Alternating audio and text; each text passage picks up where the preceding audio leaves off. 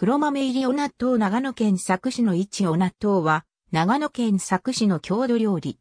ご飯に麹を混ぜて発酵させて作る料理で、乾納豆とも言う。ご飯と米麹から作られる白くドロッとした食べ物である。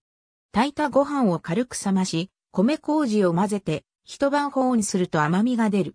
これに煮豆を入れるなどすれば完成である。菓子としてお茶受けにしたり、餅につけたりして食べる。水を加えて温めると甘酒にもなる。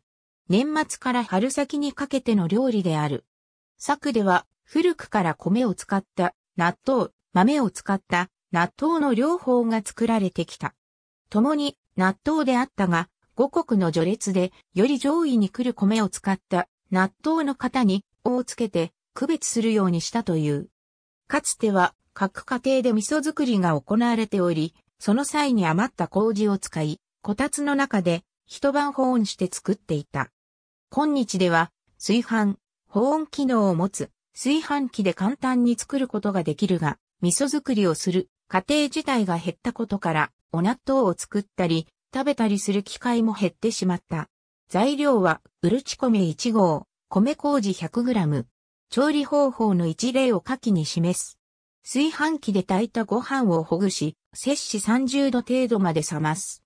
ほぐした米麹を摂氏30度程度のぬるま湯に30分間浸す。1と2とを混ぜ、炊飯器で5時間程度保温し、柔らかくなったら取り出す。その後、柔らかく煮た黒豆やささげを加える。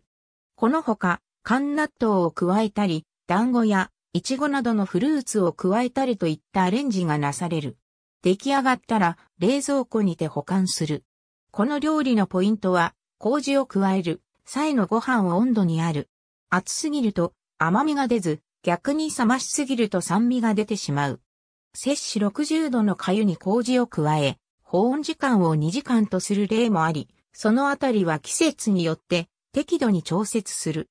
30分に1回の頻度でかき混ぜながら発酵の様子を伺うと良い。